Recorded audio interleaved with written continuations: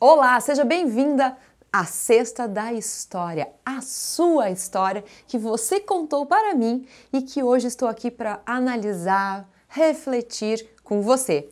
E hoje eu vou contar a história do Renato Cândido de França, que tem um amor enorme pela sua enteada e não sabe explicar da onde e nem o porquê. Então vem comigo.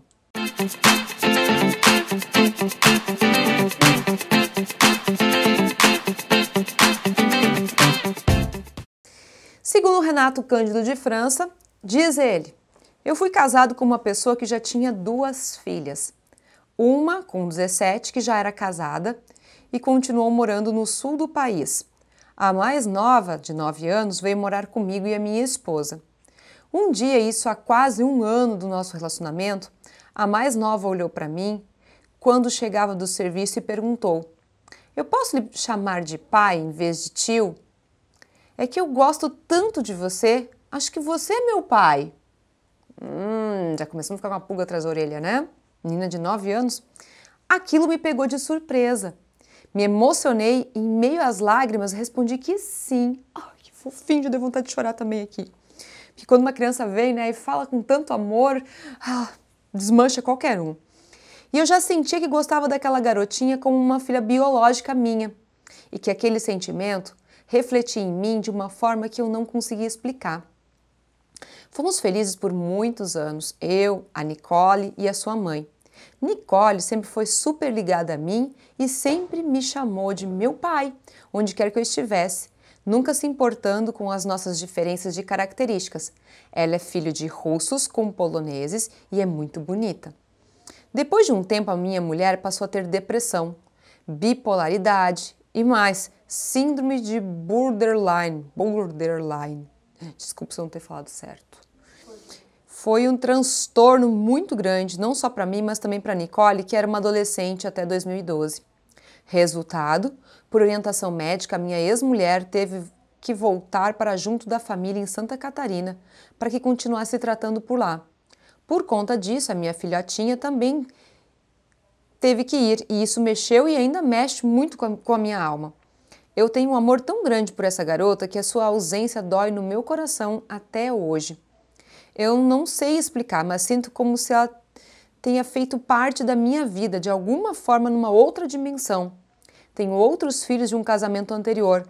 Eu amo os meus filhos, sem contudo deixá-la de lado. Às vezes fico triste e para baixo.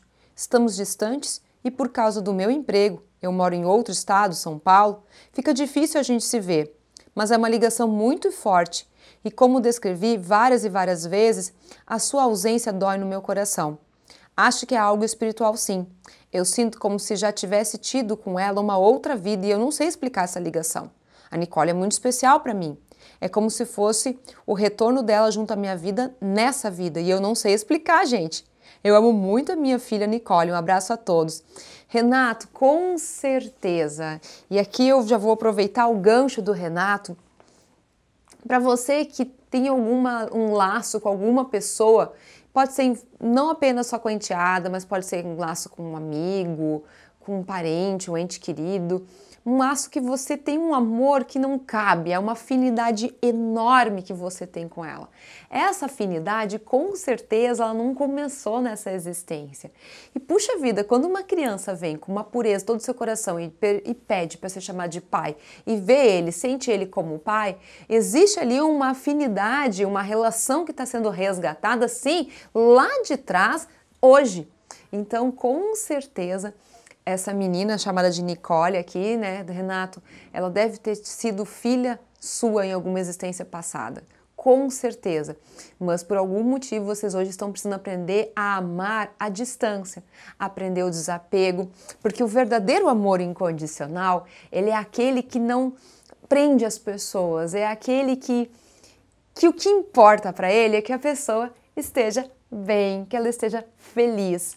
Então, para você é um grande desafio. Se eu fosse até fazer um gancho com os acordos espirituais, eu com certeza diria que tem aí algum grupo desapegados aí se apresentando entre vocês que precisa aprender a aceitar a questão da distância e permanecer sentindo a mesma coisa. Então, com certeza, Renato, existem com certeza aí um laço de vocês que não é dessa existência e que muitas pessoas também já sentiram isso com alguém em algum momento da sua vida ou vão sentir com certeza. É o seu caso?